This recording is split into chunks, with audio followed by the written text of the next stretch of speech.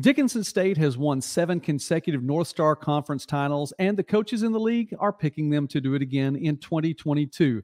The Blue Hawks went 8 and 0 in league play last year, 8 and 3 overall. Went to their seventh consecutive playoff appearance in the NAIA. As a matter of fact, Dickinson State has won 19 consecutive North Star games, and so the coaches are probably right in putting them at the top of the poll this year.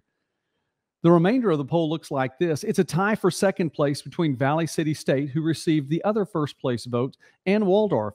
Dakota State in at number four, Mayville State at number five, Presentation picked six in the poll, and Iowa Wesleyan picked seventh.